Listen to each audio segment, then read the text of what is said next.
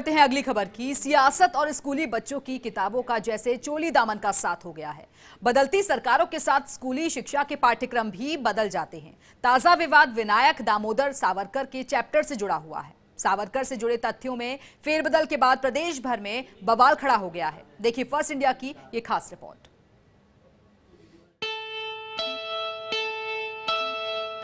क्या शिक्षा विभाग की लाखों रुपए की किताबें हो गई रद्दी?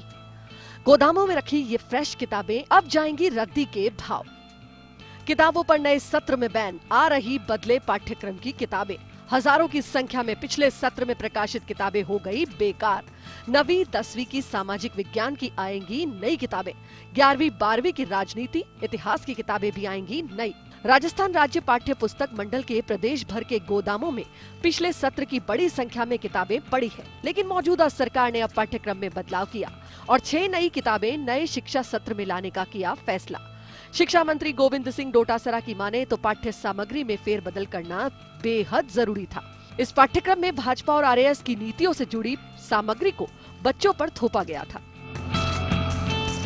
पिछली सरकार ने स्कूली शिक्षा की जो पुस्तकें थी उसमें पाठ्यक्रम में अपनी राजनीतिक विचारधारा थोपने के लिए पाठ्यक्रम में इस प्रकार का बदलाव कर दिया था कि वो गलत रूप से आज़ादी से लेकर के जिन महापुरुषों का योगदान था उसको कम किया गया था और जिनका आज़ादी के समय में कोई योगदान नहीं था, उन लोगों को वीर सावरकर जैसे लोगों को ज़्यादा महिमा मंडित करके दिखाया गया था।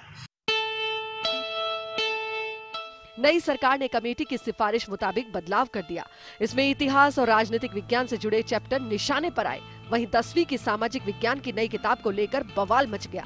विनायक दामोदर सावरकर के चैप्टर में लिखा कि सावरकर ने जेल में कष्टों से परेशान होकर ब्रिटिश सरकार के समक्ष दया याचिकाएँ भेजी। सावरकर भारत को हिंदू राष्ट्र के रूप में स्थापित करने की मुहिम चलाते रहे। 1946 में पाकिस्तान निर्माण का उन्होंने जोरदार विरोध किया। फ़र्स्ट इंडिया के हाथ लगी इस किताब से अब सावरकर को पूर्व में महान बता रही पंक्तियाँ भी हटा दी गई है। ऐसे राष्ट्रभक्त जिनका हिंदुत्व के साथ संबंध रहा है, उनका हमेशा उपेक्षा करना और उसके विपरीत उनका गलत इतिहास पढ़ाने की जो सोच रही है, वास्तव में वही कारण बना कि अकबर महान के पाठ को हटाने पर महाराणा प्रताप को महान कहने में इनको संकोच हो रहा है। ये भारतीय जनता पार्टी का विषय नहीं है। ये पूरे देशवासियों का विषय है। देशवासियों की श्रद्धा वीर सावरकर जी में है। ये राष्ट्रभक्तों, स्वतंत्रता सेनानी और देशभक्तों का अपमान होगा।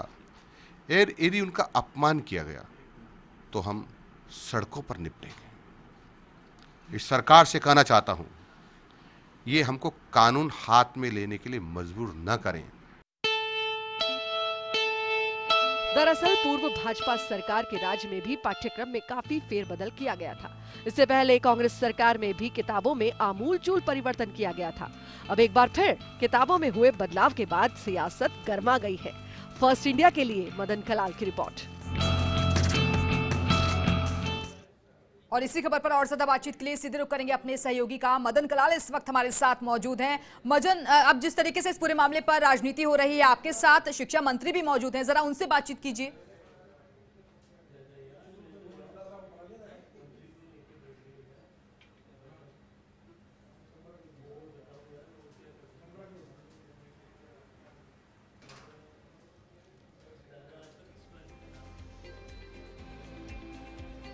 तो इस पूरे मामले पर सियासत देखी जा रही है और एक दूसरे पर आरोप प्रत्यारोप का दौर जारी है। ग्यारहवीं, बारहवीं की जो किताबें हैं उसमें फेरबदल की मांग की जा रही है और सिलेबस को लेकर जो संग्राम है, वो छिड़ गया है। राजनीतिक पार्टियाँ एक दूसरे पर आरोप प्रत्यारोप लगा रही हैं। और एक बार फिर से रुक करेंगे अपने सहयोगी का। मदन कलाल हमारे साथ जुड़ गए हैं। मदन, आपके साथ क्योंकि शिक्षा मंत्री भी मौजूद हैं, जरा उनसे बातचीत कीजिए, क्योंकि इस पूरे मामले पर अब सियासत देखी जा रही है।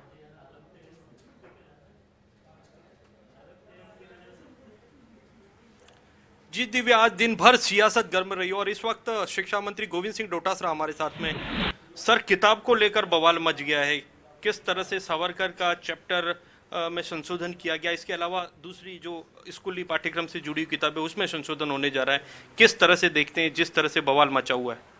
देखिए, पिछले पाँच साल में भारतीय जनता पार्टी की जब सरकार थी राजस्थान में तो उन्होंने अपनी एक राजनीतिक विचारधारा को थोपने के लिए अलग अलग तरीके से पाठ्यक्रम में संशोधन किए और वो इतिहास के विपरीत किए।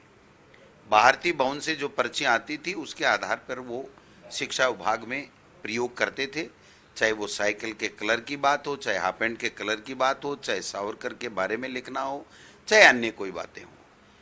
जब सरकार हमारी आई तो शिक्षाविदों की समिति बनी। पाठ्यक्रम में जो देखा गया कि क्या चीज़ ठीक है, क्या इतिहास के विपरीत है तो शिक्षाविदों की कमेटी ने एक रिपोर्ट दी और उस रिपोर्ट में जो सावरकर के लिए जो सही था, जो इतिहास में था जो हमने पूरे देश ने समय समय पर पढ़ा बड़े बड़े जो लेखक थे, इतिहासकार थे, उन्होंने जो लिखा और जिसके तथ्य मौजूद हैं इतिहास के पन्नों में, वो चीज़ उन्होंने जो अभिशंसा की और वो पाठ्यक्रम में शामिल हुआ। सर ब्रिटिश सरकार से उन्होंने याचना की सावरकर ने। इसके अलावा एक और संशोधन किया गया है जो पहले की किताब में लिखा था कि वो महान थे, उस शब्द को, उसी पूरी लाइन को डिलीट कर दिया गया है। जो दया याचिका करे, अंग्रेजियों को ये कहे, मुझे आप माफ़ कीजिए, मैं आपके चरण स्पर्श करता हूँ, मैं आपकी मदद करूँगा, आपकी सहायता करूँगा, मेरे पे मेहरबानी कीजिए, मुझे माफ़ कीजिए। तो वो कैसे, किस प्रकार से महान हो सकते हैं? तो जो चीज़ गलत थी, अगर ऐसा ही था तो सन उन्नीस सौ सैंतालीस से लेकर के अब तक राजस्थान के इतिहास में कांग्रेस की सरकार भी रही है, भैरू सिंह जी की भी सरकार रही, पहले भी वसुंधरा जी की सरकार रही, तब क्यों नहीं लिखा गया? ये देवनानी जी आने के बाद में ये सपना आया क्या कि वीर सावरकर महान थे? ये केवल और केवल आरएसएस की सोच थी, जिसको इन्होंने अमली जामा पहनाया, वो गलत था। पैनल सेटलमेंट इन अंडमान, जो बुक है जिसके लेखक आर सी मजूमदार हैं जो आ, मैं समझता हूँ भारत सरकार ने सांस्कृतिक विभाग ने जो पुस्तक लिखाई इसमें जो वर्णन है वही वर्णन तो इसके बदलती सरकारें और बदलते पाठ्यक्रम तो सवाल यही उठता है कि क्या लाखों की किताबें जो हैं अब रद्दी हो जाएँगी। बहुत बहुत शुक्रिया आपका मदन हमारे साथ जुड़ने के लिए हमें जानकारी देने के लिए और खबरें भी